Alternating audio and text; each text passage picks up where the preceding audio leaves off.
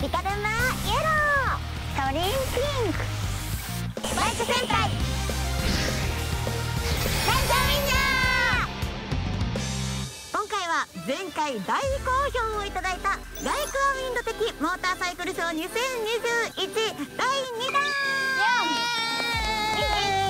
前回は国内4大メーカーをご紹介したんですが今回は海外に行っちゃいます楽しみですね。早速行ってみましょう。ライクアウィンドが今年発売の新モデルをご紹介。名付けてライクアウィンド的モーターサイクルショー第2弾インポートバイク編。3人が向かったのは大阪市都島区にあるトライアンフ大阪。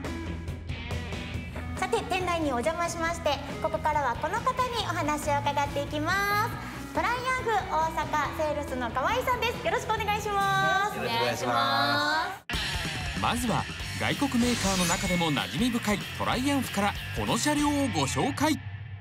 歴史のあるトライアンフを代表するバイクがボンデビル T120 です。ボンデビル出ましの方多いとは思うんですけどどういうシリーズなんですか？まあ一番はそのこれ元となっていろんな派生モデルが出るっていうのがボンネビル T120 なんですけれども大元の部分ですね、うんうん、すごい歴史が長いバイクなんですよね。そうですね。どういった部分が人気なんですかねボンネビルの、まあ、まずはキャプトンマフラーって言われるこのマフラーですね。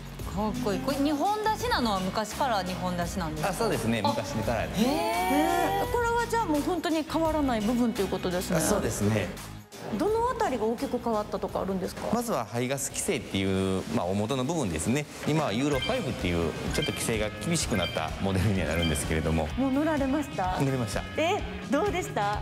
いやもう快適ですね。快適、はい、非常に曲がりやすいっていうのもありますしあのパワーも全然ないんちゃうかなってよく言われるんですけれどもパワーも結構ありますんでまあ、どしっと構えて乗れるっていうのが一番の売りですね。機能性はどんどん向上していってるんですよね。はいそうですね。あのクルーズコントロールが標準装備になりました。それ嬉しいですね。グリップヒーターもつけることもできる、はい、あできますよ。オプションでつけれることはできます。キャブ車時代もあったじゃないですか、はい、その名残を置いてるところがここは何なんですか？あの空洞です。空洞？はい。空洞になってますフォルムを変えないために今は必要ないけどつけてるってことですか？そうです。これまたがらせてもらったり。あいいですよ。いいですか？私の大好きなリチャード・ギア様が若かりし頃に出ている愛と青春の旅立ちのバイクなんですよね。そうなんです、ね、リチャード・ギアはついてこないんです。かついてこないですよ。でトライアンフの車両はですねクラッチ握っていただいてこれがセルモーターになってますのでこれを流して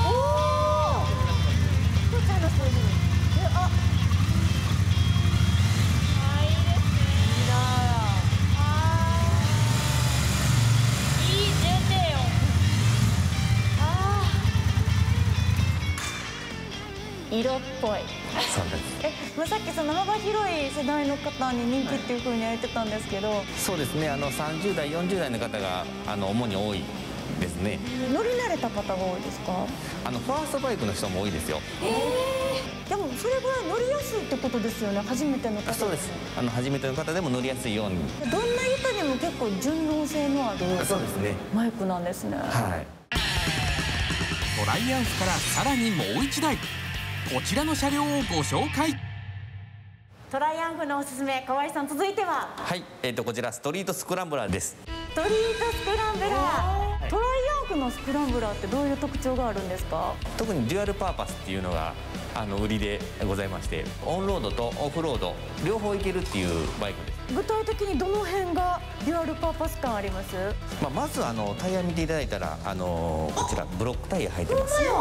あしかも細めで。はい、えー、これ標準がこれなんですか？標準がこれです。えー、いきなりアクティブに走っても OK ですかはい。他はですねあとはもうスポークホイールやったりとかあとマフラーですね一番に目入ってきた。確かに。独特やなと思ってました。デザイン性がすごいかっこいい、ね、これはなんでこういう形状なんですか？あのまあオフロードも行くっていうので、まあ、あのぬかるんだ道とか、まあ、水深いところに入ってしまった時でもマフラー水入れへんように上についてます。すごい水陸両用ですね。確かに。そこまでいかないですけどね、はい、今度じゃあストーリーとか街乗り感はどこに出てます、まずタンクですね、あのこのおしゃれなタンクになってまして街乗りっていうんですかね。ストリートにも合うようにあの色合いを設定されてます。これも実際に乗られました。はい。どうでした？乗り味。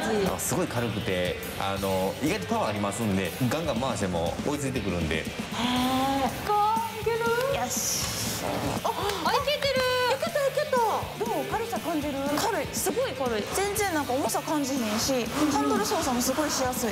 はい。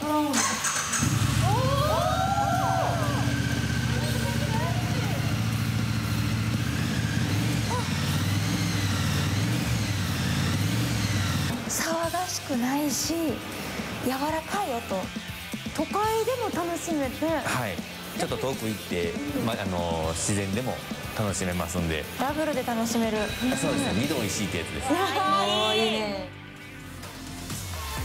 次週ライクアウィンド的モーターサイクルショー後半戦。まだまだあるニューモデルインポートバイクをご紹介。お楽しみに。ライダー限定オリジナルフラッグプレゼントキャンペーン。フェリーサンフラワーで九州に行くと利用した航路に合わせてオリジナルフラッグがもらえます。さらにハッシュタグをつけて投稿すると豪華景品も詳しくは番組ホームページへ。心のように咲いた空。瞳の奥に光ってる。